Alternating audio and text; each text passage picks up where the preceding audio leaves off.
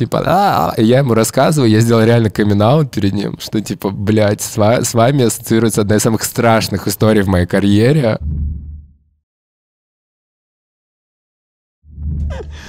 Гоша, скажи, ты устал? Устал ли я? Да. Я, я жестко устал. Я просто э, невероятно... э, Вы же загавкаете, да, все это запикаете? Не-не-не. Я в невероятном заебе. Я просто дико устал, мне нужно два дня вытерпеть, и все. Просто А что четыре- у меня происходит сейчас? четыре Расскажи дня отпуска. А, я выпал из-за короны на месяц в работы, и мне, мне очень дико все восстанавливаться. У меня идут съемки, а, продажи школы, подготовка всего. Ну, то есть очень много всего происходит, и я хочу очень сильно просто сделать себе digital detox. Я хочу процитировать тебя. Блять, откуда вообще? Что? Ну нет, перед тем, как мы с тобой договорились на эту запись, э, мне дали твой телефон, добрые люди, я начал тебе писать, и ты сказал, чувак, я приду, но хочу, чтобы мой выпуск был самым разъебным по картинке. Тогда я готов. Прям так я написал, Да. разъебным, я тебе, такие слова даже тебе пока что нравится все, как... Да, кроме обстановка? света выключен, включен, включен то, что Слушай, я тебя должен разочаровать, он будет гореть на протяжении всей ты записи. разочаровал меня. Э, У меня есть кое-что. Что-то- Я так много сюрпризов сразу выдаю. Цитаты, картинки. Хочу. А, А ты ходил на улице, спрашивал, что люди по поводу меня думают? Нет, нет, нет, нет. Меня просто очень давно мучает один визуал. Давай. Очень сильно мучает один визуал. Э, Стоп. Мне, А мы разве не представляемся, не говорим, типа, кто мы, или как вы это делаете? если ты хочешь, ты можешь это сделать, Нет, Гош. я просто спрашиваю, как я, я что-то Или ты хочешь, чтобы я представился? Нет, нет. Ты представь, как тебя зовут, кстати? Меня зовут Влад. Ребята, это мой подкаст. Это мой гость Гоша Карцев. А это Антон. И я на- убери руку, я на него работаю сегодня. Не, загор- не поднимаю Похоже, все на никогда. тебя сегодня работают. На меня работает Антон и Женя только. Этот визуал связан с тем, как бы ты выглядел, если бы у тебя были волосы на голове и на лице. Это моя фотография или это фотошоп? Ага, привет, Женечка. Да, это правда. Чума это могла тебе быть. говорили об этом уже Да, когда-нибудь? постоянно подписчики мне говорят, что мы два одинаковых Вы человека. очень похожи. Дико похожи. Вообще не понимаю, где, кроме роста, может быть, но... Э, Ну, вы не пробовали наложить э, волосы тебе фотошопом на лицо и на Ты голову? попробовал? Я попробовал, вот что получилось. Нет, не пробовали. Женечка, к- любовь моя, хороший человек, добрый. Э, Еще меня очень всегда два человека еще, с которым сравнивают. Мне говорят все время, что мы звучим одинаково с Роговым, и если, типа, не включать видео, то непонятно, кто говорит. Нет, у вас не похожи голоса. И мне говорят, что я, если в парике, то я чума-вечеринка. А Вот. если чума в парике? Она чума-вечеринка тоже. А можешь Женю передать? Ты э, хочешь его сфотографировать? Прокомментируйте в э, комментариях, похожи ли э, два комментатора э, друг на друга. Евгений Калинкин и Георгий Карцев. Прости, какой вопрос? А, Про то, что Ивлеева копирует Дуалипа, очень часто и пишут об этом. Что, Я где об этом «О, говорю?» Не ты, не ты, в люди в интернете. Что, Я все типа, просто «Ой, видео, где я это говорю, оно не вышло. Я поэтому такой, что? Анастасия, как можно, так очевидно. Не- Все копируют, это абсолютно нормально. Мы живем в эпоху цитат, и это классно, ничего нового не придумывает. И гла- крутые визуалы — это просто люди, у которых огромное количество информации в голове, и они производят уникальный контент, э, правильно с ней работая. Конечно, когда в один в один это совсем странно, но а, так было всегда. Есть классный фильм на YouTube, называется «Ремикс». Он бесплатный, просто о том, как... а, Бесплатный. Он о том, как вообще, в принципе, он 40 минут, по-моему, идет о том, как люди все время все в музыке, везде берут сэмплы и так далее. Это нормально, я не вижу в этом никакой проблемы. Просто главное, когда ты собираешь внутри себя информацию, а потом по итогу... А вы не могли бы не пиздеть на заднем плане? Вот у нас подкаст вообще-то, если что. А, что как, ты просто собираешь внутри информацию и производишь свой собственный, уникальный в данном случае контент. Поэтому тут вопрос не а, копирования, а источников и качества этих источников. То есть копирование — это окей, просто вопрос источников, которые ты потребляешь. Окей, но не, не так ли это галимо выглядит, когда вот человек суперизвестный, как Настя, копирует такого же суперизвестного человека и как будто бы делает вид, что ничего не происходит? Или в этом ничего страшного Слушай, нет? во-первых, это не так все прямо, как ты говоришь, а во-вторых, Дуалипа тоже кого-то копирует. Ну, то есть, это тот человек, с которого она берет референсы, тоже в свое время кого-то копировал. Мы сейчас живем в эпоху 2000-х, и как бы и Дуалипа, и Настя оттуда черпают вдохновение. Они друг друга не копируют совсем. Ну, Настя Ивлеева, ты знаешь, выглядит просто актуально, так как она выглядит сейчас модно, раз мы уже ее разбираем. И а, она девчонка, которая делает актуальные вещи. Поэтому конкретно, если разбирать на ее примере, я не думаю, что мы можем сравнивать их двоих, потому что э, все-таки Дуалипа, мне кажется, у них разные стили все-таки. У, у Насти он более гранжевый, и она совершенно в этом выглядит, бля, нативно плохое слово. Гармонично. Гармонично, спасибо, да. спасибо ну, большое. А нативно и гармонично это вообще не про Ну, и гармонично, мне кажется, у него разные эти слова. Ну, конечно. Почему? Ну, потому что нативно не всегда гармонично, Зам... а гармонично не всегда нативно. Объяснил. Ты не понял, да, о чем я? Но нативно — это когда незаметно. Ну, типа того. Ну, гармонично. гармонично. Ну, ты, то есть, Незаметно по-твоему, гармонично это всегда, когда ты сочетаешься, типа, с природой, и там сливаешься с кем-то или что? Когда ты э, уместен в своем образе и не чувствуешь дискомфорта. У тебя было такое, когда ты чувствовал дискомфорт в своем образе? Конечно, огромное количество раз. Один из моих самых э, любимых примеров, я однажды вел передачу на СТС, которую никто не видел, а, и этого нигде не найти. И меня заставляли в, наряжаться прям стилиста. Ну, то есть меня носить очки, шляпы, а, футболки, ой, рубашки с а, цветами, знаете, с какими-то узорами. Вот я себя чувствовал супер. И рассказывать про тренды, типа, как подбирать очки. Я чувствовал себя так нелепо, но это был крутой опыт. А зачем же ты подписался на это? Деньги? Ну, как будто бы э, это было лет, я не знаю, сколько назад, 7, может быть, 8. А, что э, ну, типа, тебе предлагают работать на телеке, ну, как бы СТС, ты думаешь, что отказаться, что ли, что дурак? Такая была мысль у меня. Не было никакой мотивации, просто пошел на кастинг, утвердили сразу. Я что я говорю, я работал на Первом канале человеком, Кем? который...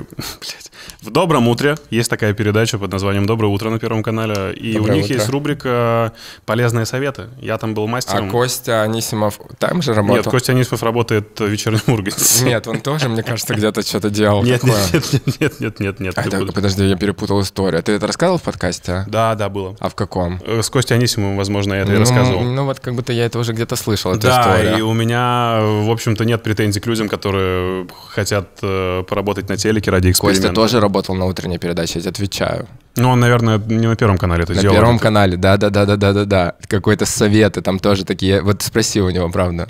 Может, я гоню, но мне кажется, нет.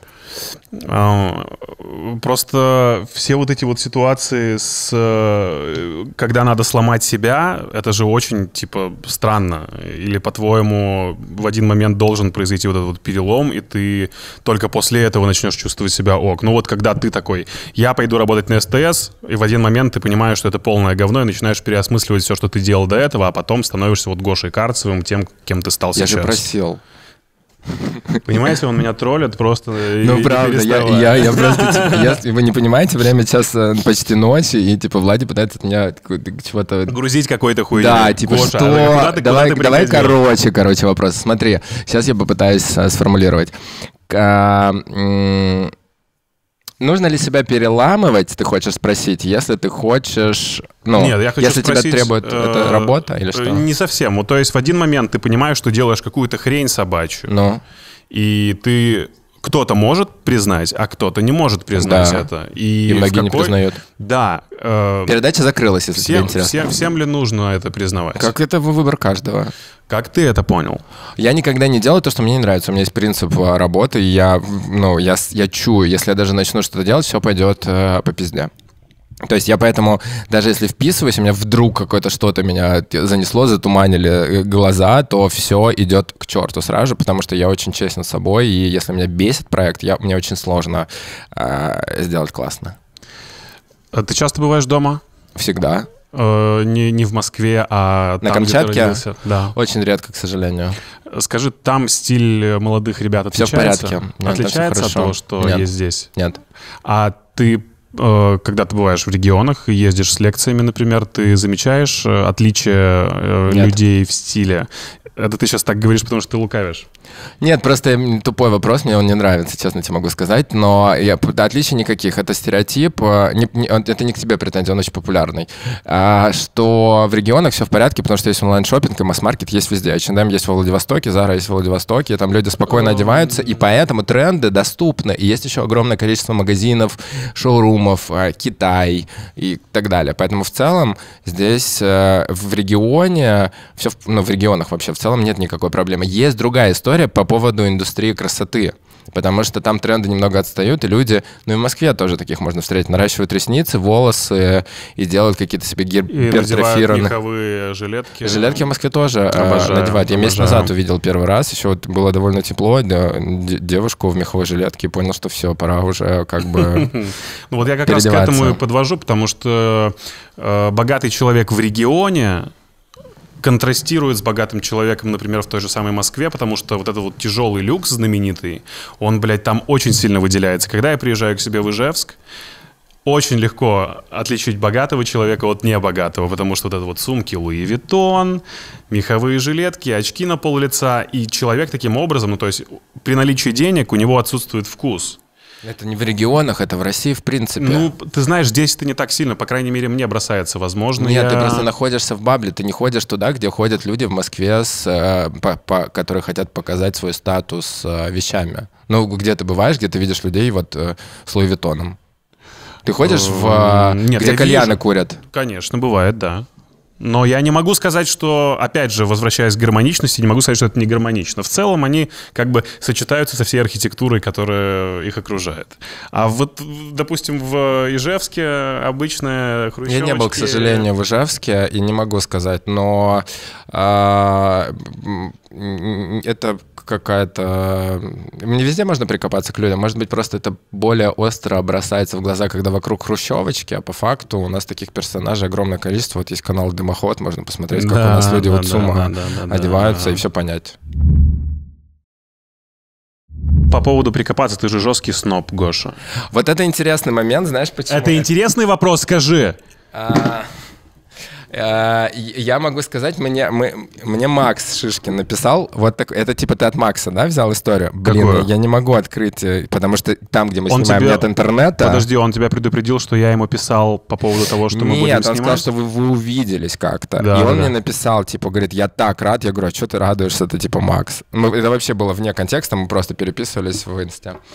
Он говорит, ну, это круто, что ты придешь, потому что... Я говорю, почему? Он говорит, ну, потому что все думают, что ты сноб, Жесткий. Он мне написал жесткий. Жесткий, да. так и есть. А, и типа, э, и ты меня раскроешь по-другому. И я Бля. такой думаю, во-первых, откуда Макс, откуда у Макса такая инфа? И думаю, неужели люди думают, что я сноб, а потом думаю, да посрать, ну как бы окей. Подожди, как ты это чувствуешь? Ты не замечаешь? Я не понимаю, что такое сноб до конца. Типа я э, сру всех в интернете. Ну вот, допустим, на примере того, как э, развивается наша запись на протяжении какого-то времени сейчас. Есть ощущение, что тебе хочется немного пойти в противовес и сделать что-то в разрез. Как будто бы вот если тебе а не нравится, я? ты начинаешь такой типа, бля, ребята, что за говно? Ну то есть ты... Где, где? Скажи пример мне эм. сегодняшний. Вот как мы готовили, что типа что? Э, ну типа, вот не надо так, вот не делай так, чувак, бля, какая-то хуйня. Я никому не сказал это. Ну вот только что, когда мы с тобой разговаривали до этого, типа, хуевый вопрос, чувак, следующий, не разговаривай со мной с такими формами. Нет, я тебя просто, это же, в смысле, это самоирония, чувак, я тупой, и я не понимаю, что ты от меня хочешь. Хорошо, у меня есть пример, Давай. когда мы с тобой стояли, курили. Давай. Это интересно. У меня подруга как-то устраивалась тебе на работу. А, вот, ты мне рассказал. Ну давай, чего? Uh, и она это мне сказала... Девушка? Нет, нет, она мне сказала, что uh, это был самый пиздецовый пиздец, потому что меня изначально предупредила уже помощница Гоша Карцева, что начальник Ого. Очень тяжеленький, будьте готовы с ним Хорошо. работать. По-моему, ты искал себе ассистента, если я ничего не путаю.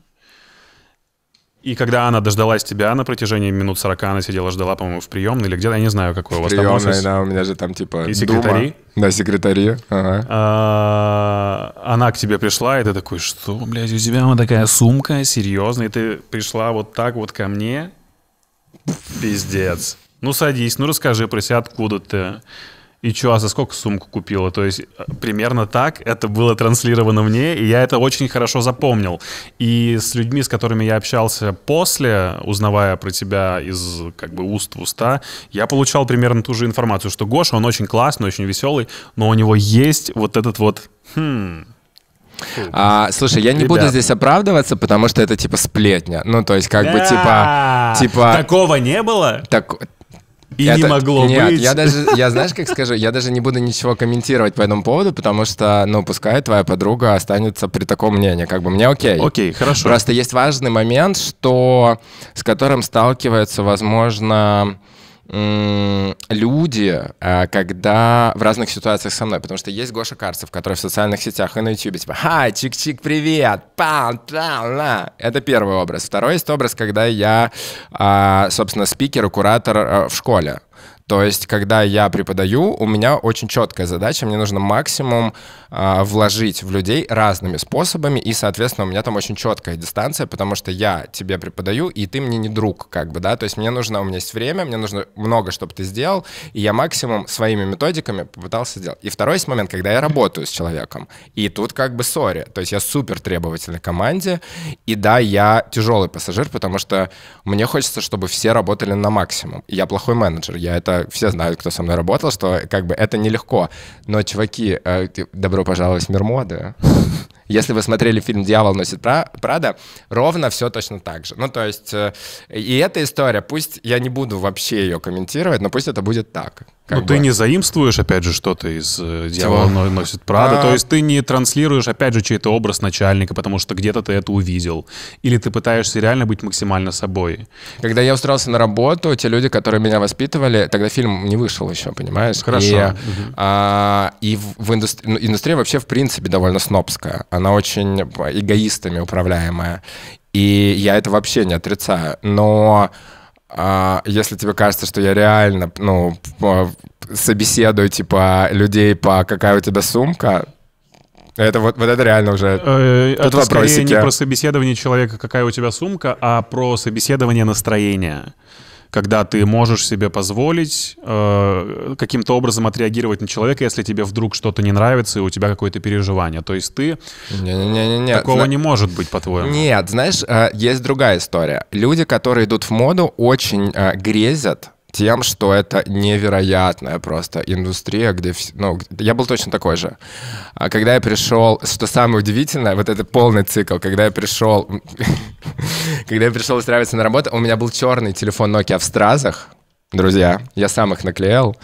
А я вообще не знал, что такое Дольче Габбана, э, типа, как вообще работает индустрия, но я был супер амбициозный и наглый человек и попросился кофе носить. И по итогу а, как это... Мне, мне казалось, что я, в принципе, модой интересуюсь. Ну, как будто бы там я, типа, шмотки покупаю, и это все. И люди, которые приходят устраиваться на работу, они думают, что мы сидим на подкастах, побухиваем, а, красиво наряжаемся, и это все. И многие люди не понимают, что это на самом деле суперсложная работа, где а, ты выкладываешься по максимуму, и твое это, это, ну вот, типа, это абсолютно такая же карьера, как и все, суперсложная. И все приходят, и все хотят сразу же стать звездой. Все хотят стать главным редактором, все хотят стать фэшн-директором, все хотят сейчас стать стилистом. Слава богу, уже нет, но блогером, например. Все хотят миллионы подписчиков, и никто не понимает, какое количество труда туда вложено.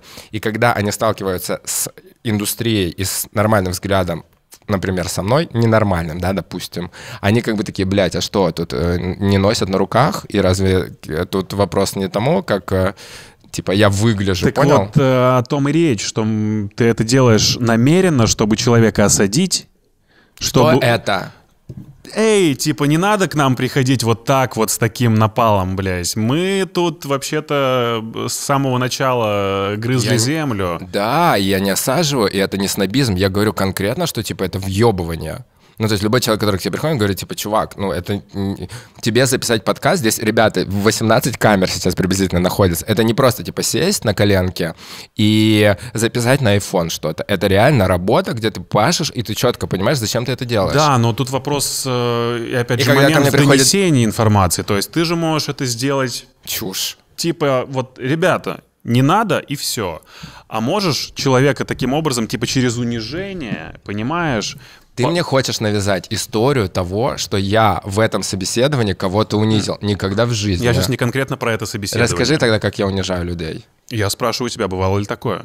Унижаю людей за их внешний вид? Нет, за, за то, что они делают не Хочешь, так. давай подеремся? За то, что они... Я могу лезть советом, как ты сегодня видел, понимаешь? Да, Но я, я сейчас очень- я именно очень- про твою индустрию спрашиваю, про твою работу, про то, как ты э, руководишь людьми, про то, как ты э, можешь быть неприятным человеку для Когда того, я чтобы... начальник, я неприятный человек. Я очень четко это, и все знают. Ну, то есть я предупреждаю, что со мной не как бы легко. Я человек настроения, я супер тиран, но я отвечаю за то, что я делаю, поэтому это окей. Я пытался себя изменить, и в августе я понял, что, ну, типа, сори. Ну, у меня были реально очень большие загоны по этому поводу, что я давлю на людей и так далее. Я просто понял, что я дал полную свободу своему коллективу, а потом охерел от того, что они натворили, и как бы понял, что сори, тиран остается. И А как бы меня это натворили? устраивает. Ну, просто тусовались, хорошо время проводили. В офисе в твоем? Да нет, у меня офиса, дома все работаем сейчас. Ну, типа, просто, просто делали работу. И потом все отхватили. Ну, то есть, как бы я тиран, списки дел, дедлайны. Объясни, почему ты это не сделал. Я супер жесткий. Это Я- эффективно? А в моем случае я не знаю, как по-другому, и не хочу перестраиваться. Меня это мне не нужно. Понял? Я понял. я просто на таком сейчас формате, когда я пытался, еще раз говорю, стать классным менеджером, но я понял, что это не мое, я не управленец, я творческий человек, и я пытаюсь что-то делать. Это единственный способ, как я могу это делать. И я могу пожертвовать. а, люди сами выставляют границы, понимаешь? То есть если человеку я скажу что-то, он ко мне, он мне может ответить и скажет, что вот это перебор. И такие были случаи, когда ко мне подходили сотрудники, я всегда стараюсь разговаривать, он говорит, наборщил. Я говорю, сори, я не понял, извиняюсь, Всегда. я больше это не делаю. А? Всегда. Что всегда? Говоришь, сори, я был неправ. Если мне указывают ну, момент, когда я что-то делаю не так, и я это не осознаю, я всегда извиняюсь. Ну, ребят, э, я вообще супер сладкий по сравнению со всем, что в индустрии происходит, поверьте мне. У тебя есть формулировка совершенно прекрасная под названием «Эма осень». Я видел это Что? все. «Эма осень заебала». Где, Сколько где такие можно- цитаты? Сколько можно грусть, ничего не охота делать, жопу поднять лень. А, я хотел на заставить- ручке. Я писал. я Водоч- написал Эмма водочки, Осень, да. водочки и на ручке. А, Единственный способ, в котором я могу работать, единственный способ, в котором я продуктивен, это дедлайн, когда горит жопа. И это было всю жизнь так. Я думаю, что не только у тебя такое. Да, но это... а, и все, точка. И я знаю, что если завтра мне нужно что-то сдать, я это сделаю завтра, прям вот, вот за минуту после того, как дедлайн пройдет. И это единственный момент, и поэтому я всегда продуктивен в два месяца. Это сентябрь, когда у всех все горит в моде, ну, по крайней мере, так, ну, во многих индустриях, и март. Все, я знаю, что август это жопа, никому ничего не нужно, мне тоже, соответственно, ничего не нужно. И январь, февраль тоже, типа, привет, всем приветики, жрем оливье. А на Бали. Вот, поэтому я знаю, что я... Поэтому единственный способ, когда я могу вернуться к продуктивности, это когда у меня вообще нет времени. И вот сейчас, типа, я в час ночи сижу на подкасте. Ну, типа, серьезно? Ну да. А, это первое. Второе, а, тот момент, когда я, я вот с психологом много работаю, и могу сказать, что я еще, и мы с Чумой вот недавно чуть не посрались из-за этого, что грустить и не хотеть ничего делать — это окей. Поэтому просто я научился ценить и то, и другое время. Э, Про э, психолог или психотерапевт? Психотерапевт. Расскажи, как ты пришел к этому. У меня, к сожалению, случилась трагедия в жизни. У меня умерла мама, и я очень ушел в работу и понял, что я выгорел. Очень было тяжело. А, И а, я ушел, типа, в просто в похоту, разосрался со всем своим окружением, и в какой-то момент очень вовремя понял, что у меня депрессия. И, а, соответственно, с терапевтом из нее вышел. А сейчас вернулся, потому что там есть какие-то у меня интересные запросы на эту Э, тему. Очень крутое интервью по поводу депрессии у Шихман с э, стендап-комиком Юлией Ахмедовой. Ты, может быть, смотрел его? Нет. Эм, Я не смотрел ни одно, кстати, интервью Шихмана. Очень важно людям донести тот момент, когда ты можешь э, профукать эту депрессию. Э, Как э, ты понял, что вот, э, вот это пиздец, и мне нужна помощь? А у меня есть одно из моих, наверное, это, я понимаю сейчас, что это гордость, но у меня не было поиска самоопределения в жизни никогда. Я... Извини, самоопределение. Ты Ну, про есть- цели конкретные? Нет, я понимал всегда, что я буду в шмотках. В шмотках, в глянце, в светской хронике, в чем-то таком. Так, а... То есть, знаешь, типа, у меня не было поиска себя. И я, я очень горжусь тем, то, что я кайфую от своей, люблю свою работу. То есть у меня нет такого, что... И у меня очень... Я даже не могу вспомнить, когда мне было, бля, я еду на работу, состояние вот такого. Да, я поддерживаю, у меня И, такого и- тоже не и было. я очень это ценю. И единственная зацепка у меня с жизнью была моя работа. То есть я приезжал в офис, и как бы в который я сам сделал, который, типа, там, знаешь, каждый гвоздь забит практически мной. И я очень это уважал, и я в какой-то момент приехал, и у меня был всегда каждый день один и тот же маршрут. То есть я, я все время проводил в офисе, и меня даже друзья не могли оттуда вытащить. Они понимали, что лучше прийти ко мне, потому что я там в субботу, воскресенье сижу с утра до вечера. И я подъезжаю к подъезду своему э, здания офисного, отменяю э, адрес и еду назад домой и ложусь. И я понимаю, что я не хочу ехать на работу. И тогда мне стало страшно, потому что я лег и понял, что единственная зацепка с реальностью — это работа, она пропала. То есть мне не хочется на нее ехать. И тогда я сел, э, лег, и понял, что как бы, ну, если я выйду в окно, это страшно звучит, но если я выйду в окно, э, как бы ничего не изменится. А ты постоянно думал о том, что можно... Я не думал. Я просто в этот момент поймался на мысли не то, что типа, все, пиздец, жизнь, боль, я выйду в окно. А просто я понял, что у меня, в принципе, ну, как бы я понимаю, что если вот я сейчас есть, и меня нет, мир не изменится. И тогда я понял, что вот это вот реально уже типа странненько. И э, в Гугле нашел терапевта, и все, прекрасно. Алла, привет.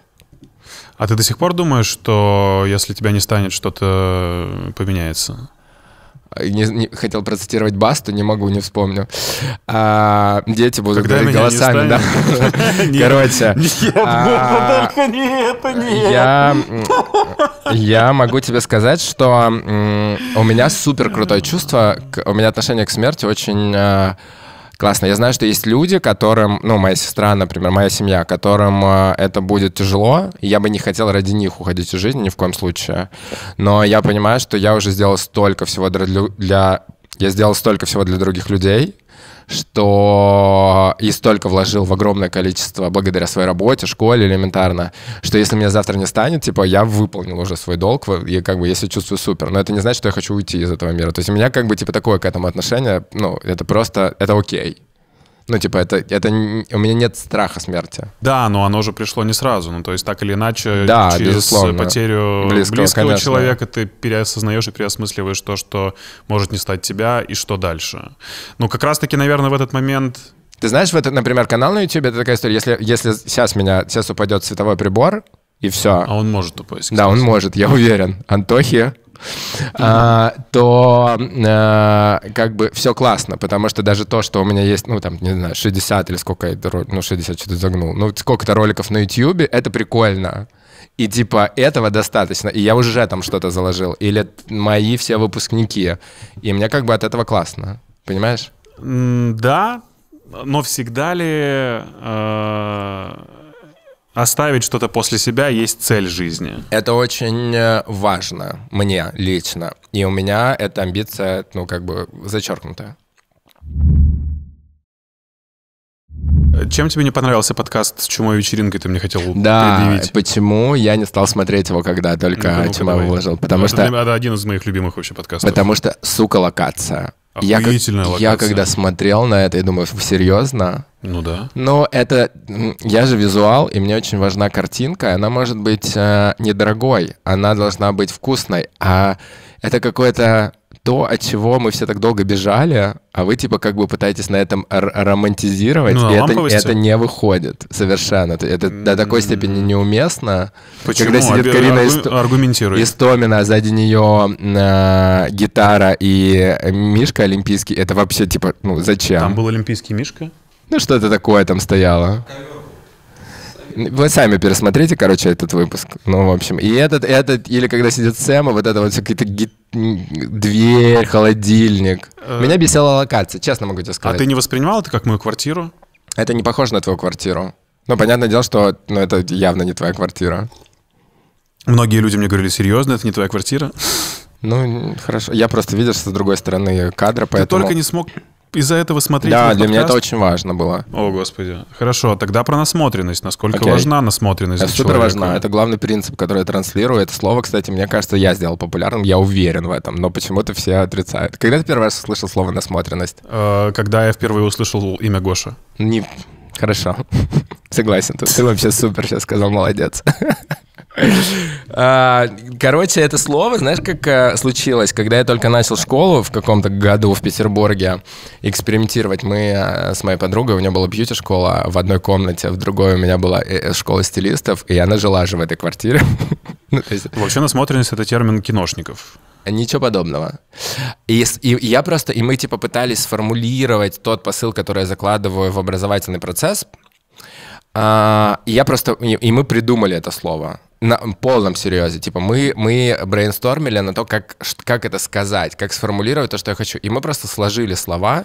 То есть мы как-то играли То словом вы смотреть, слово потреблять. Да, мы на и смотреть сложили. И мы поняли, что, ну, типа, это супер тупое слово.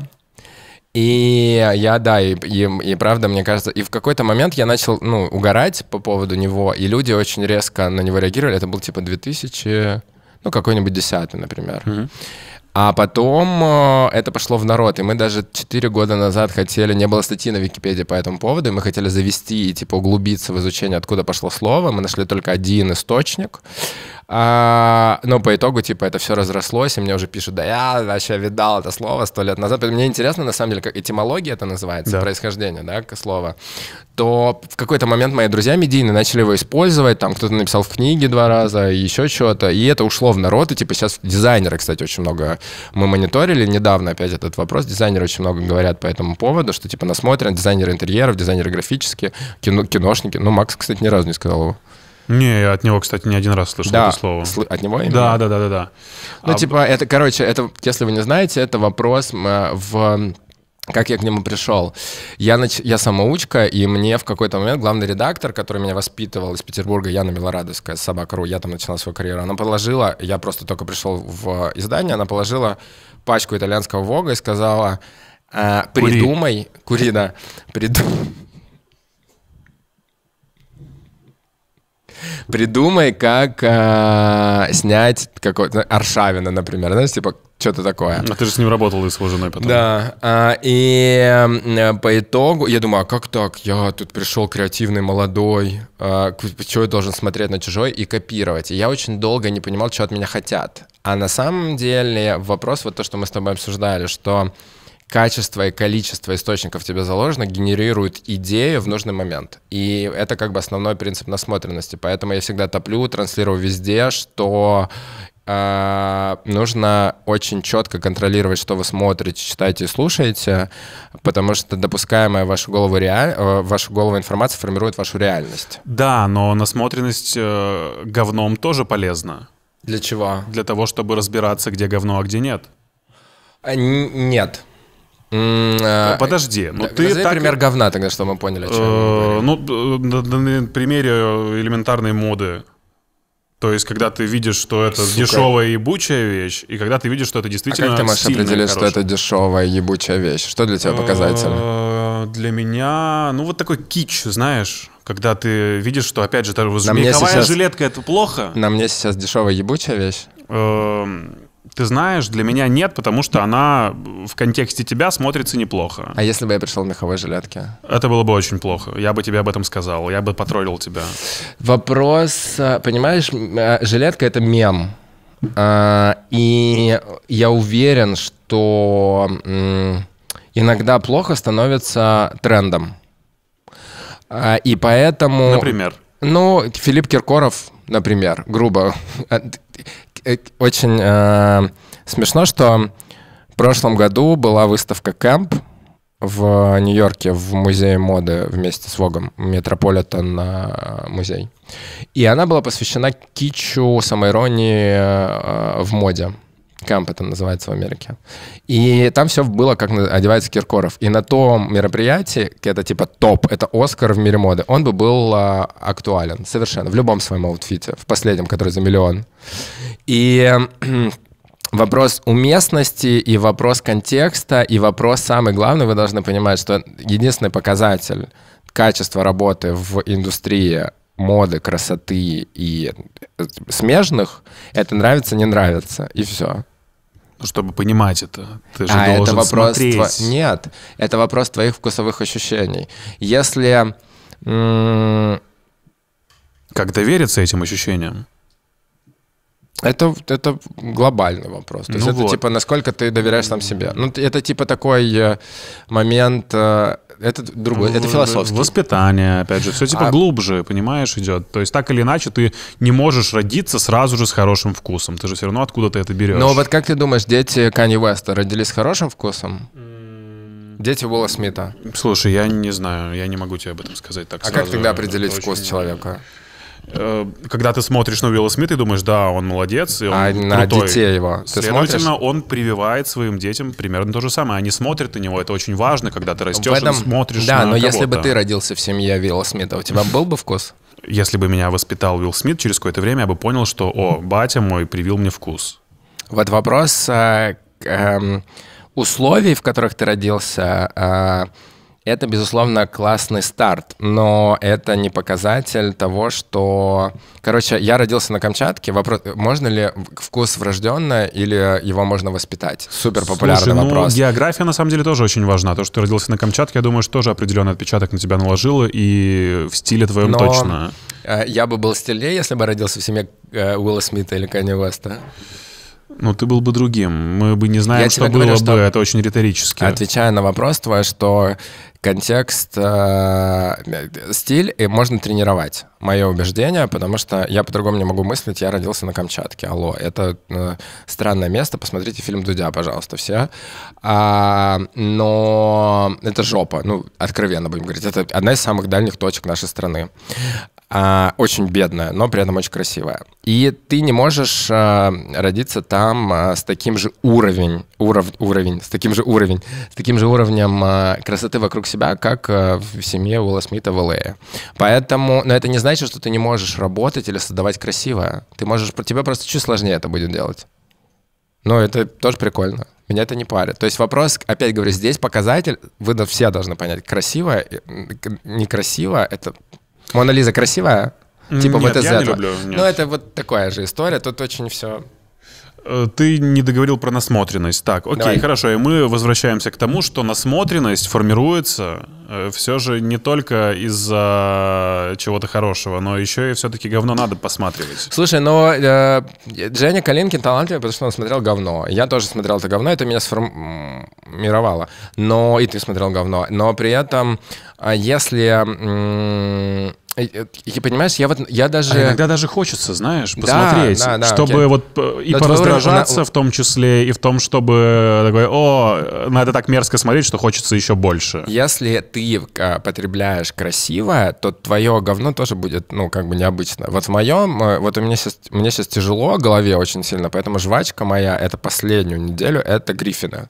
И типа я просто в восторге. Ты это сразу плохо? же нас тут тролльнул по поводу рвотного корня. Но это плохо или хорошо? Это говно, вот или нет? Нет, нет, нет. ни Мне кажется, коем это случае. супер умный, классный Да, мультсериал, и который меня абсолютно устраивает. Но если посмотрит моя сестра, а- она скажет, что это говно, например, там какое-то количество подписчиков. А я максимально получаю удовольствие, отдыхаю. И единственное, вот последние две недели засыпаю только потому, что я смотрю Family Guy. И все. И это позволяет моей голове выдохнуть. Поэтому тут вопрос, что говно потребляется также, ну, разное. Это, то же самое. Говно, не говно, это также красиво, некрасиво. Понимаешь мой посыл? Тут все пытаются моду, искусство, фотографию, смежные а, моменты приблизить к правилам, к, также в образовании, а, в школах стилистов, которые огромное количество, все пытаются, и даже потребитель хочет узнать какую-то формулу, типа, а, в... Я очень долго боролся с цветоведьмами. Это люди, которые определяют, стилисты, которые определяют, что тебе идет по тому, какой ты цветотип, исходя из твоего цвета глаз, кожи, а, и прикладывают к себе тряпки, набор которых стоит 27 тысяч рублей, мы вчера с командой смотрели. А это Набор- просто набор набор тряпок, да, а, то цветных. есть это уже фактура сформированная, форма на тебя ее Э, Да, примеряют. Да, да, да. И это просто хлопок самый дешевый, который просто нарезан на куски и обработан самым дешевым способом. И, и они как бы тебя пытаются определить, что тебе вот, например, ты, значит, значит, у тебя русые волосы, там типа зеленые глаза, тебе идет рыжий. Например, или какой-нибудь бордовый цвет в одежде, и пытаются дать какую-то формулу для того, чтобы ты выглядел лучше. А индустрия, она совсем не про это. То есть э, сейчас существует такое количество всего и так много условий, что и потребитель хочет, чтобы им объяснили, как это ну, использовать, и люди, которые хотят работать в индустрии, думают, что тоже так проще. На самом деле, как бы ничего, все супер субъективно и все очень эм, относительно. То есть как бы в моде есть, безусловно, какие-то свои правила, но они для каждого, мне кажется, свои. Ну, то есть вот, типа, Ольга Бузова, наверное, делает какую-то одежду. Или кто-то. Ну, много же исполнителей Ольга Бузова делает все, по-моему, да? Ну, вот, наверное, ну, грубо говоря. Ты делаешь одежду, может, Нет, тоже измеришь.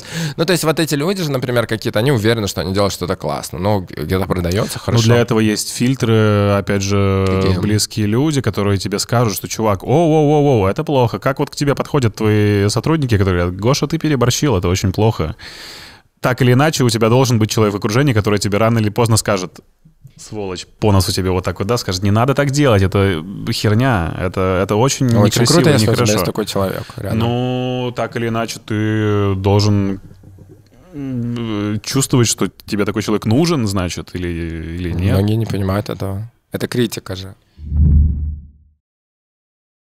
Есть ли какие-то вещи, за которые тебе стыдно, э, когда да, ты работал? Да, но эм, это э, за Андрея вообще нет. Э, это э, пару проектов, э, от которых я отказался, когда уже начал работать над ними. То есть мое поведение в рамках работы профессиональное. Э, то а, есть, когда ты уже начал коммуницировать, начал, да, я уже сказал, начал, о, это не про меня, я да, ухожу. Да, да, да, да, да, да. Типа, когда я бросил проекты в середине, у меня было два, два таких случая. И еще у меня есть один постыдный, когда я проспал съемку, работая в журнале. Расскажи про него. Это супер прикол, что недавно, короче, меня отмечают в Твиттере, внимание, я все, я там больше не появляюсь. А, потому что сделал телеграм-канал «Насмотренность». Я рекомендую на него подписаться. Ссылка обязательно будет в описании. Короче, меня отмечает человек в Твиттере, что типа прикол от, в сторис Ягудина, такой э, фигурист. Да-да. А, как, как забавно ты показал фигурист. А, что он едет в, самол... в, в автобусе из самолета, угу. и на заднем плане сижу реально я. Ну, то есть он выкладывает селфи какое-то, типа, ну, типа, с кого-то поздравляет с днем рождения, находит совместную фотографию из этого что это, автобус, и я реально сижу на заднем, в телефо... на заднем плане с телефоном. То есть а... ты не знал все это время, что ты летел с Ягудиным? Я знал, но как бы я не узнал, что я попаду в его Инстаграм. Но у меня есть жесткая история, за которую мне вот реально стыдно. Я вел очень большой проект, работая продюсером в журнале. Мы снимали, мы находились в Петербурге, но снимали спортсменов. Это был какой-то типа Олимпиаде, что ли, посвящен номер. Один из самых крутых, кстати, который была собака, собака когда делала, а, журнал он... Э, и мы снимали 50 спортсменов на протяжении, типа, двух недель. То есть я координировал с э, помощником или там с коллегой, я не помню, кто это был, 50 э, съемок. И там была Лисан Утяшева, еще кто-то. То есть супер крутого уровня. Мне нужно было придумать, как снять, координировать, найти Лисан команду. Типа, я очень люблю Лисан Утяшеву. Типа, э, короче, неважно. И... И это была одна из самых главных съемок, потому что мы хотели раздеть Ягудина, у него была красивая, ну, классная фигура, ну, наверное, сейчас тоже. А, мы хотели, чтобы он лежал в одном из э, летних э, заведений э, Петербурга на лежаке в шортах и коньках, показывая свой торс, какой он секси. Это была фотка на разворот. Это ну, ты придумал? Есть... Нет.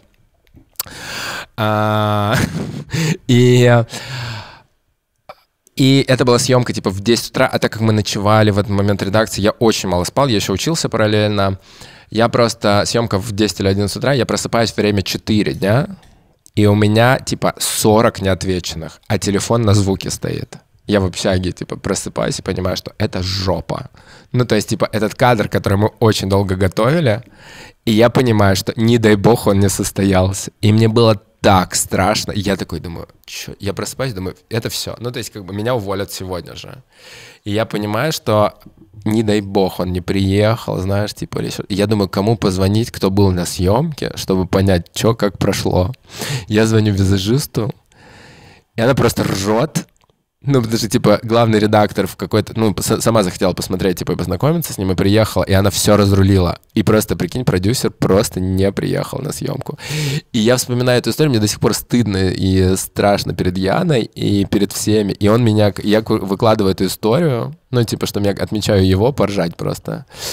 И он такой, и он мне отвечает на эту историю, типа, ха-ха, типа, а, и я ему рассказываю, я сделал реально камин перед ним, что, типа, блядь, с, ва- с вами ассоциируется одна из самых страшных историй в моей карьере, ну, типа, как я просто проспал съемку, которую я должен полностью координировать, но она состоялась, это был реально разворот, он был голый, но это был капец.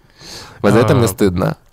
Про работу с э, селебами вообще, как выходят на тебя именно почему, почему на тебя? Я как сейчас не происходит? работаю с селебами. Раньше, Когда ты работал, да. Раньше это все через глянец. Так как я начинал в глянце, ты просто знакомишься. Единственный способ работать с селебами, либо у тебя должно быть мощное портфолио. Сейчас ты можешь написать инстагр... в Инстаграме, тогда только появился контакт. И почему все идут в журналы, это потому что ты можешь заполучить, ну, как бы в доступе контакты брендов, звезд. И я познакомился так с каким-то количеством людей, и они потом сказали, типа, ой, давай вместе поработаем. С Дворном я так познакомился, а, с, мне кажется, с Аршавиным семейства, а, и не, не помню, с кем-то. А что значит вместе поработаем? Расскажи про вот эту механику. Они находят твои контакты, они тебе там звонят, пишут, неважно. И говорят, ты одеваешь знаешь, на звезду на съемки, на клипы, на концерты, на какие-то выходы и прочее. Ты отвечаешь за их внешний вид в принципе. Э, на протяжении. Такого времени, насколько у них есть деньги, и у тебя время и потребности. Э, как рассчитывается э, время а, работы? По-разному. В, вообще в мире, в отличие от России, засчитывается за лук, то есть за один образ. А, и, например, если звезда любая мировая, у нее есть расписание на месяц, что крайне редко бывает в нашей стране у звезд, она говорит, типа, вот у меня есть главные ивенты, я в октябре там выхожу туда-то, туда-то, туда-то, туда-то. Ну, потому что что по-другому не бывает. Мне нужно подобрать примерно вот это и вот это. Ничего даже не говори, там, так, скорее всего, команда тебя ставит какие-то установки, может быть, есть какие-то пожелания звезды, но скорее это продюсерская вся история. И ты делаешь одну большую примерку, привозишь очень много вещей. Мне рассказывали, как а, ребята стажировались знакомые у меня со стилистом Рианны, и она приезжала на неделю в Лондон, и помещение было приблизительно как этот театр, все заполнено вещами, специально подобранными для нее. И дальше она уже со своим главным стилистом ходила и собирала луки, образы, а, точка. И поэтому в России это обычно так, слушай, мне завтра срочно нужно пойти на вечеринку, я хочу что-нибудь, что выглядит супер дорого, но бюджет у меня 2000 рублей. И ты должен обосраться, привести 15 вариантов, и звезда сама выберет, что она хочет.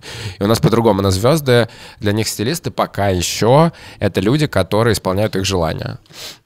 Вот, поэтому все вопросы к внешнему виду звезд — это вопросы к звездам. Как было с Дорном? Супер. Ванечка просто любовь, потому что киевлянин.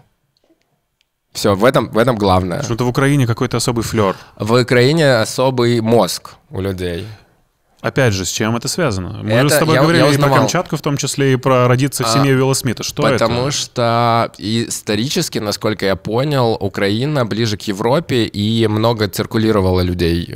Можно так сказать? Да, циркулировало да. вообще ну, конечно. слово. А много людей вот типа мимо проезжали. И поэтому она ближе к Европе, они более открытые по всем абсолютно вопросам, более креативные и вообще красивые очень. Что люди. ты ему сделал, что ты подбирал Дорна? Слушай, мы с Ваней работали очень давно. А, это был был Стецемен альбом, а, я делал одну съемку О-о-о. большую, делал ему, мне кажется, самый большой, возможно, концерт до сих пор в истории. Мы, по-моему, это было 5 или что-то 7 тысяч человек в Ледовом в Питере. И я делал костюмы для шоу. Для всей команды? Для всей, да. Ну, там команда сколько? Три человека. Ну, танцоры еще пять на тот момент было. Но это был просто разрыв. Это было довольно круто, а, и тоже все на абсолютном, на абсолютно взаимной любви.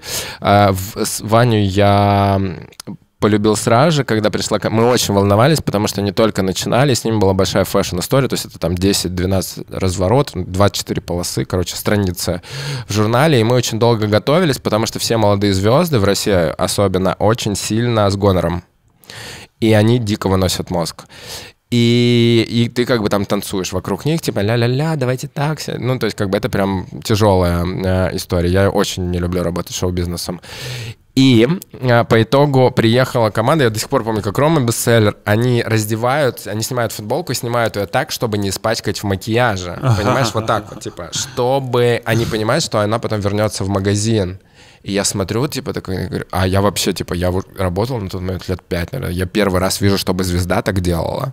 Первый раз. Я работал с огромным количеством звезд. И, и я такой, типа, а что, да, говорит, ну мы же, типа, да, мы пов... И они вешают назад это все на вешалку. И я просто сижу вот так вот. И я в этот момент просто готов был сделать все для них, что только возможно, потому что а, до сих пор к стилистам относятся звезды, в частности, как, а, типа, ну, к прислуге, что ли, понимаешь? Почему наши звезды позволяют себе так себя вести? Потому что э, очень сложно вынести популярность и деньги лихие. И я тоже не уверен, смог бы ли я это, как понять себя, как вести, в, э, если вдруг неожиданно у, на меня упадет успех.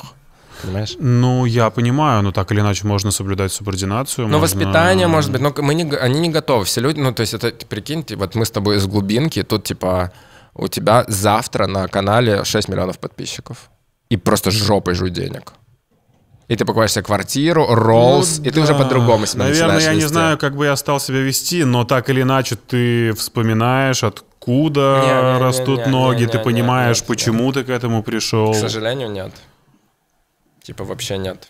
И самое удивительное, что чем меньше рост, даже если ты на него, у тебя до сих пор съемная квартира, но вся команда для тебя чмари. Ну, то есть я не знаю, откуда это. И это очень, к сожалению, ну, большая проблема. Ты сейчас про кого-то конкретного говоришь? А, Антон? Не-не-не, ну правда так относится. Это, это очень... Поэтому вот есть два типа людей, с которыми я не стараюсь не работать. Это шоу-бизнес и политика. Это вот прям типа... Есть, есть два типа людей, с которыми стараюсь не работать. Это шоу-бизнес и политика. Вот, например, ты четко ли понимаешь, чем я занимаюсь? А, я думаю, что в процесс погрузиться я не могу ввиду того, что ну, я просто никогда не был задействован в чем-то похожем. Точно так же, как и ты не можешь понять э, устройство работы на радио. Да, это вот. Ну, то есть ты в целом знаешь, что это, и примерно понимаешь, что надо сесть перед микрофоном и что-то сказать. Так же, как и я понимаю, что тебе нужно э, помочь кому-то э, в том, чтобы он был так или иначе приобщен к стилю, моде и какой-то вашей индустрии. Да, понимаешь? видишь, и может быть этот снобизм, про который мы уже говорили, он связан с тем, что я очень же топлю за качество, в том числе тех, кого я выпускаю из школы. И э, многие до сих пор в России, что удивительно, не до конца понимают, кто такой стилист. Э, даже те, кто ко мне приходят. Кто То есть, такой стилист, Гоша? Э, что э, многие думают, что это правда блогер скорее сейчас. Раньше думали, что это человек, который классно проводит время, тусуясь на показах. Это был и для меня тоже это был некий доступ к светской хронике и к некому сообществу, куда ты, ну, для меня была, наверное, главная амбиция, почему я туда пошел в глянец, чтобы попасть в светскую хронику. А, а сейчас стилисты думают, что через моду ты можешь стать популярным понимаешь? То есть не просто там, типа, быть каким-то в узком круге профессионалов классным, а можешь, ну, типа, блогером. И поэтому сейчас... Э, То очень... есть тщеславие движет всеми? Абсолютно. И, э, а, и поэтому рынок заполнен стилистами, потому что огромное количество школ, и правда сейчас самый пик, который мы наблюдаем, я думаю, что больше, чем сейчас не будет, потому что ну, новые проекты не выживут. Очень большая конкуренция. Но, э, но... стилистов много, но качества вообще никакого. Я как вот я приехал 8 лет назад в Москву, было 10 стилистов коммерческих, их до сих пор 10 именитых, понимаешь? Ну, не то есть так или иначе знают тебя, знают Рогова и кого-то еще, я кто так или иначе находится Нет. в поле. Нет. Я или говорю, мы многих не знаем. Вы не знаете огромное количество людей, потому что, например, все коммерческие съемки в Москве, клипы, а, шоу даже на Ютьюбе, а, фотосессии, всякие рекламы мегафонов, билайнов и прочих, их стилизуют. И это типа 10 человек. И они зарабатывают очень большие деньги, у них очень дорогие съемочные дни, но их больше не становится. Потому что все приходят и, ждут быстрого успеха в индустрии, а это не получается. И поэтому они уходят, либо просто остаются в моменте шопинг сопровождения. И на данный момент и у потребителя, и у потребители моей школы, в частности, до сих пор представление о том, что стилист — это тот человек, который ходит как подружка вместе с клиентом по магазинам и оплату получает по часам. Это не так.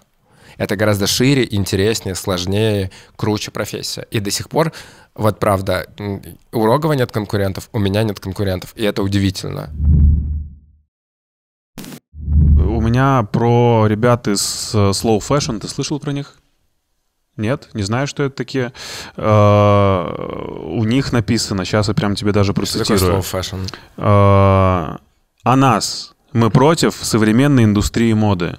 Прекрасно. И дело не в дизайне и вкусе, а в ее влиянии на общественное сознание – Э, здесь они пишут про свой аккаунт, который относительно недавно завели. Будем рассказывать о том, как быстрая мода, fast fashion, заставляет нас покупать все больше одежды и аксессуаров, насколько на самом деле быстро устаревают вещи, которые продаются в бутиках, как не идти на поводу индустрии и стать более осознанным потребителем. Ба! И вот такая моя реакция. По-моему, это немножечко лицемерно, потому что говорить про э, индустрию моды, которая уже сформировалась и которая всех заебала, это навязывание, опять же, новой моды, вот это вот slow fashion, да, типа мы против. Что это такое, ты мне прочитал? Э, я тебе прочитал ребят, которые вот сейчас начали появляться активно в соцсетях, я недавно их замониторил, их Рогов репостнул, если я ничего не путаю. Э, называется аккаунт Design Without a Designer. Не знаю, что таких чуваков. Слушай, а, мода в кризисе, я не отрицаю, но а, давить э, на это и использовать это как УТП, это типа смешно сейчас. Ну да, то есть это такое, знаешь, подмена понятий. Как Не, будто да. бы мы против моды, но мы хотим навязать вам свою да, моду да. без моды. И, и это, я недавно узнал термин greenwashing. Ты знаешь, что это такое? Нет. Это когда типа люди и бизнес притворяются экологичным, хотя таким не является. Да, и мода да. такая же. Вы должны очень четко понять, что мода — это мыльный пузырь, это индустрия добавочной стоимости потребления, которое тебе не нужно. Кроссовки новые, которые тебе вообще не срались, потому что старые в прекрасном, нормальном состоянии. На этом она построена. Ну, и да. у нее кризис сейчас, потому что производится столько, что все заебались. Я заебался конкретно от этого. Ну, кстати, сейчас во время пандемии, по-моему, вся все летняя в порядке, коллекция... Нет, все летняя в порядке. коллекция масс-маркетов даже жопы. Ну, так и все Нет. ребята, которые топят за экологичность, они против. И такие, а и, все стоит. И, и в этом-то и прикол, что ничего не стоит. Все как производится, производится, так и, и, и продолжает производиться. Просто это новый формат, и и тут мы не можем до конца сейчас разобраться, кто из этого использует гринвошинг, кто из этого правда топит за то, что мода заебала, и типа мы хотим новую моду, но это цикл, и в моде это уже было, и в 80-х было то же самое, и в 90-х все таки нас заебал гламур, нас, нам надоели э, синтетические ткани, блестящие начесы, как в интердевочке, понимаешь, о чем я говорю? Мы хотим минимала, и появился э, Кельвин Кляйн, Хельмут Ланг и Маржела, и все таки типа, о, давайте носить рванину, ну, мы типа против моды. Это все чушь, понимаешь? И в этом-то и прикол моды. Это такой очень заигрывание с потребителем. Потому что э, бренды хотят зарабатывать. Конечно, вот это и бизнес, все. и да. мода — бизнес. Это не про творчество, это про бабки, понимаешь? Хорошо, тогда получается та же самая экологичность. Расскажи мне, как по-твоему, что такое вот это вот переработанные вещи? Это вообще норм? Что это? Из я очень активно сырья? этим интересуюсь я сейчас, и это очень сложно. Это норм, это прикольно, и даже гринвошинг. Я, я очень долго обсуждаю сейчас с ребятами, которые тоже этим интересуются. Даже круто, что это входит в моду, потому что лучше будет это, и пусть кто-то там типа пытается на этом нажиться, но лучше пускай потребитель, на самом деле очень тяжелая ситуация, и лучше пускай потребитель как бы с этим хотя бы знакомится, а, чем а, ну, мы будем опять навязывать о том, что нужно покупать новое. Понимаешь? На, на, какой вопрос? Ты покупаешь себе что-нибудь из переработанного сырья? Есть у тебя одежда такая?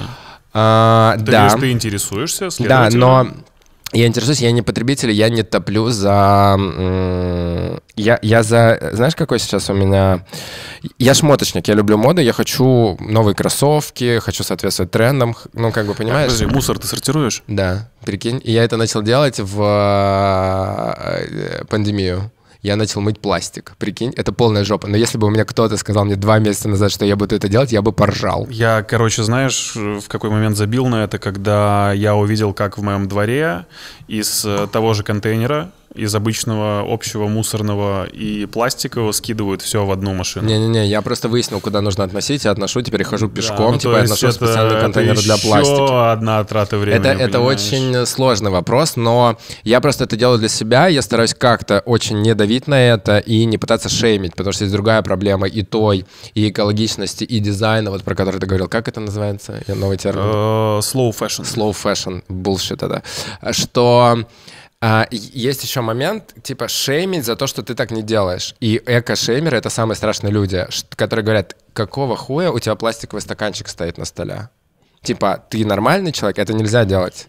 Или почему ты покупаешь больше, это неправильно. И они, как веганы, которые говорят тебе и навязывают, что не надо есть ну, мясо, да, это, понимаешь? Типа, непринятие людей людьми, все понятно. А я никому да, не да, навязываю, да. я это транслирую в своих соцсетях, потому что меня это реально интересует. И я делаю прямой эфир, потому что мне правда интересно реально, ну, что происходит с мусором в Москве. Ну вот просто, насколько это вообще возможно, что мы в жопе. Я не вижу этих свалок, и я не осознаю.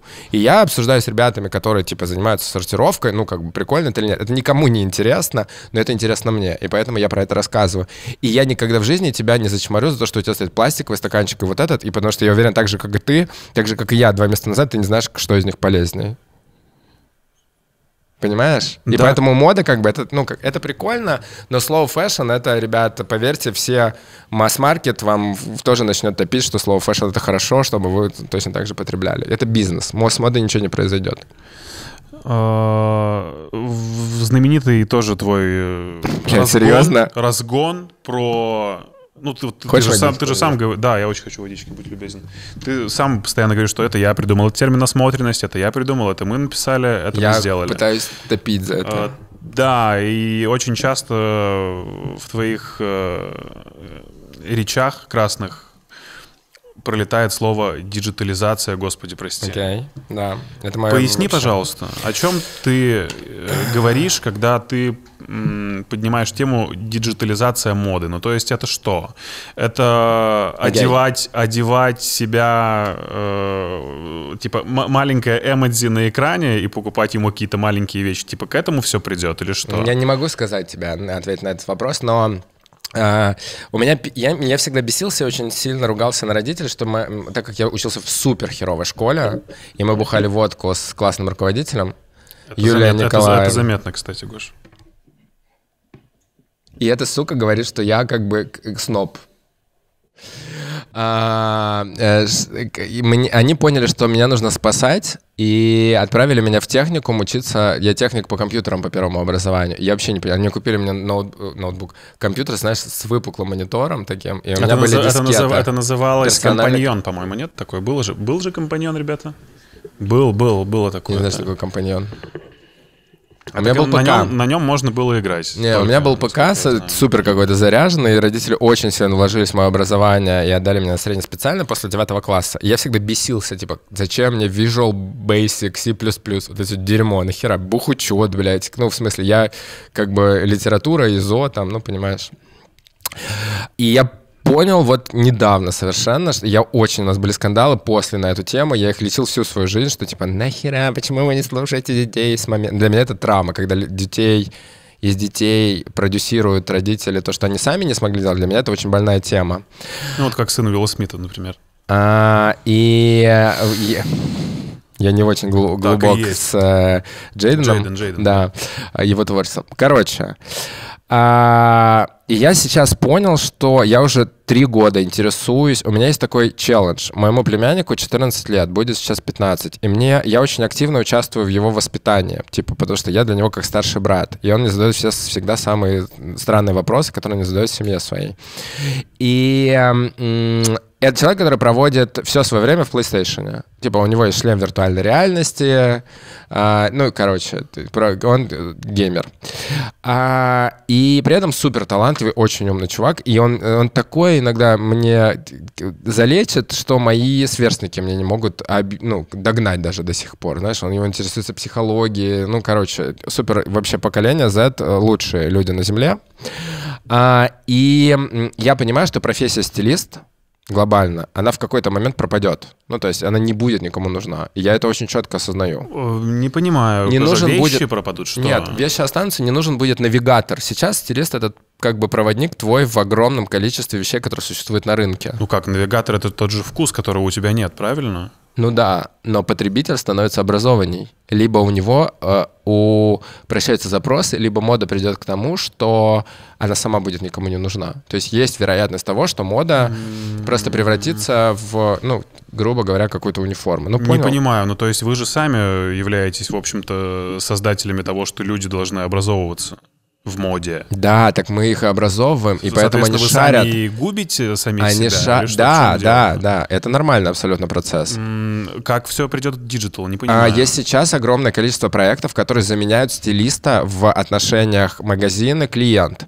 Один из крутейших в Америке есть сервис, который называется Stitch Fix. Я рекомендую вам посмотреть, но доставка сейчас, к сожалению, работает только в Америке.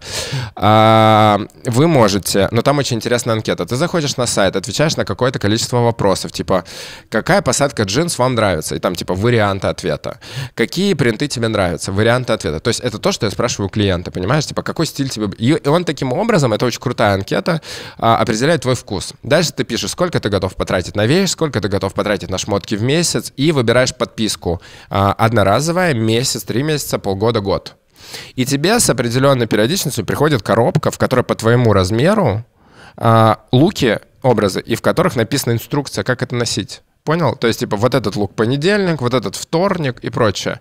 И это один из самых крутых диджитал а, проектов в моде за последнее время, который за пять лет привлек несколько раундов инвестиций, который... А девочка начала все с таблицы в Excel, она просто решила структурировать запросы клиентов. Ну, фактически это тот же самый стилист, э, который, ты убирает, не да, с ним. который убивает, убирает живого посредника из этой да. цепочки и, и помогает тебе это сделать. это сделать в интернете. Второй крутой да. проект называется Zozo Suit. Э, азиаты поняли, что огромное количество проблем онлайн-торговли — это возврат товара.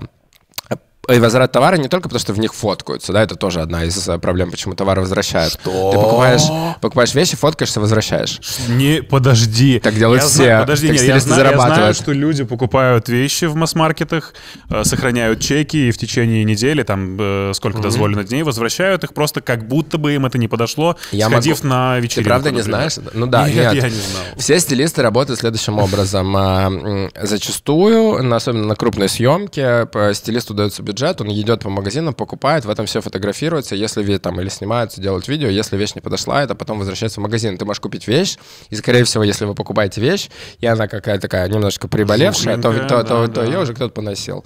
А, в этом это нормально. Так делается практически во всем мире. А, вот, точка. Это первое. Я просто говорил. Про Зозу Сьют. Зозу Сьют. Короче, и возвращается еще потому, что тебе не подходит размер. Проблема онлайн-шоппинга — это то, что тебе размер не подходит. Ну, ты онлайн покупал что-нибудь когда-нибудь вещи? Конечно, постоянно покупаю. Тебе подходит все? Идеально садится? Нет, ну я заказываю сразу несколько. Ну вот, типа на Ламоде я заказал себе. Но там другой сервис, они привозят размеры, ты можешь сразу же сдать, правильно? Ну да. Да, тут проблема, что люди возвращают. И пока вещь едет, а производитель или бренд или онлайн-магазин теряет, потому что срок проходит, идет на сейл, и он то, что мог заработать, понял, по сроку, там, две недели возврата, он теряет прибыль с этого.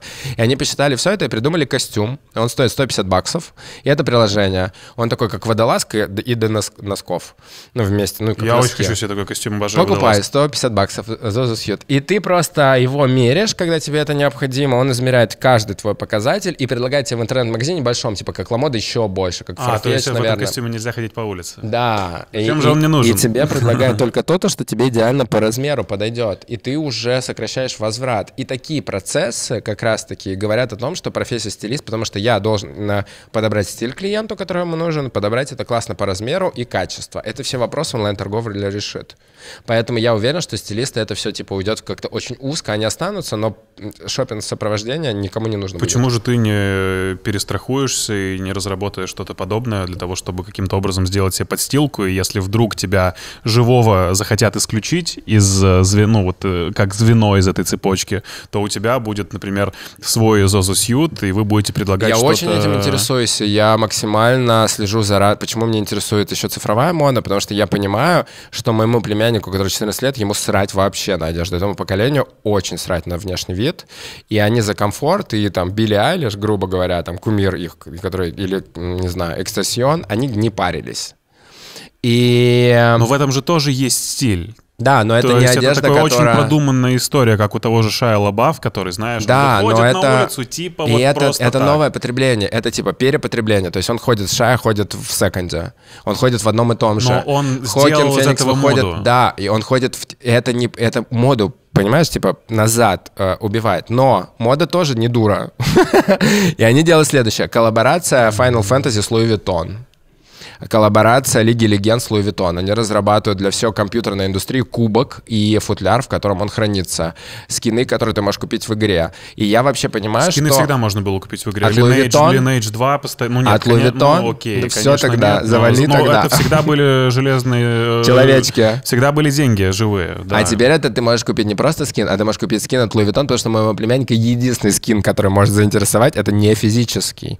И вот это вот все, что происходит, у меня есть фотки в Инстаграме, где в диджитал вещах. То есть вещей, которых нет, потому что мне нужна фотка одна. Я, я, я фоткаюсь в шмотке, и она мне, в принципе, больше, ну, как бы не нужна. А это цифровая на мне одежда, и это проекция, ребят. Это зелёнка такой дорогой продакшн, да, да, да. что тут все снимается на, на хромаке. Все, я все сказал про диджитал. Бэм, drop. Еще есть вопрос? Гош, подари пончо. Пончик могу тебе подарить только. Ты смотри, где я и где пончик. Это было очень круто. Подожди, мы все сказали. Все, пожалуйста, приходим ко мне на онлайн на курсы в School Gosh. А, что еще нужно сказать? Не подписываемся на мой YouTube канал, самый лучший канал. Сколько в мире. стоит обучение в School 39 тысяч рублей, три недели, а, три раза в неделю. Убери руку, не закрывай мою камеру. Сука. А, Три недели, три раза в неделю. Вообще, количество мест ограничено. У меня последний, кстати, курс в этом году. А когда выходит выпуск? Э, Пока не ясно. Ну, в октябре, у меня в ноябре старт. Да, в октябре успеет. Да, короче, ребят, последний курс в этом году, следующий, скорее всего, весной, так что не тупите. Может быть, я надеюсь, что будут места. И у меня два курса базовые и про. А, мой телеграм-канал «Насмотренность», который появился месяц назад, мой YouTube Гоша Карцев, мой инстаграм Гоша Карцев, мой тикток Гоша Карцев. Везде все совершенно одинаково. Пишется, все классно, все. И что еще нужно прорекламировать? Супер, пожалуйста, поставьте лайк этому видео. Я молю вас, сделайте его популярным, пожалуйста. Хочу больше, чем Истомина собрать. А, комментарий, а, подписка. Конкурс будет? Я По- поэтому про пончо и спрашиваю. Поделись этим видео в социальных сетях, отметь меня, отметь Лади, короче, лайк, шер, коммент, подписка. Гоша, спасибо тебе, Спасибо, что что дал позвал. э, понять, что ты не сноб. Ты, кстати, не понял, мне кажется, этого.